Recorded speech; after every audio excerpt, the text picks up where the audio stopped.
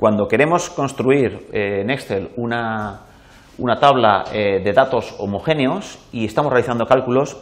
es normal que, se nos, que nos encontremos con situaciones como esta, en la que tenemos una serie de datos de partida, de renta de consumo de una serie de años, y realicemos una operación sobre ellos, por ejemplo, en este caso, para el año 70, he definido el ahorro como la diferencia entre la renta y el consumo. Y nos planteemos que queremos realizar esta misma operación para todos los años. Claro, una hoja de cálculo puede ser extremadamente grande, contener una cantidad ingente de datos y, lógicamente, nos va a interesar que podamos tener, eh, podamos tener eh, modos abreviados y modos cómodos de eh, realizar este tipo de cosas. Bien, en resumidas cuentas, si analizamos la expresión que tenemos introducida en esta celdilla, nos indica que vamos a restar de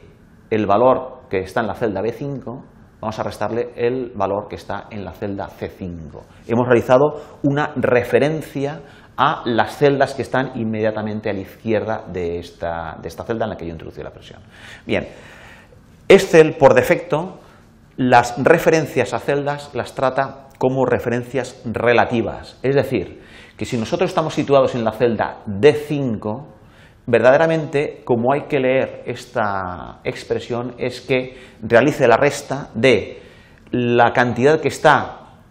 dos posiciones a la izquierda, que es la posición relativa de B5 respecto de D5, y a esa cantidad le reste la cantidad que aparece en una posición a la izquierda. ¿De acuerdo?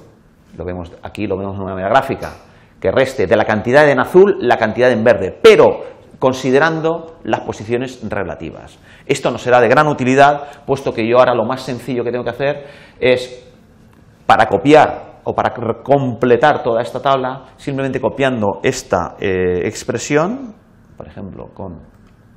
copiar, y decimos que la queremos pegar,